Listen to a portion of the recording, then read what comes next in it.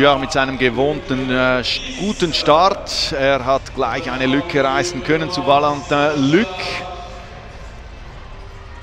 Eine klare Führung für den Athleten von Lausanne Sport Athletisme. Er zieht jetzt auf der Zielgeraden äh, Richtung Ziel 22.07.